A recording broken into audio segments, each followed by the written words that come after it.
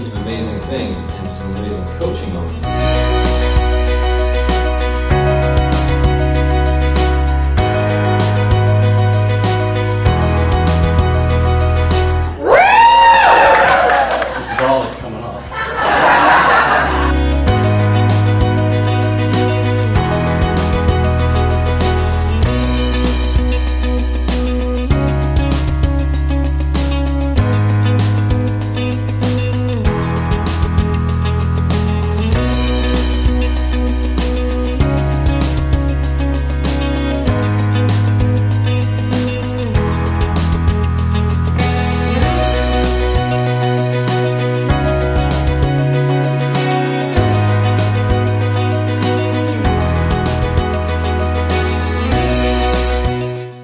We walk through that, and then we can stand here and live your dream.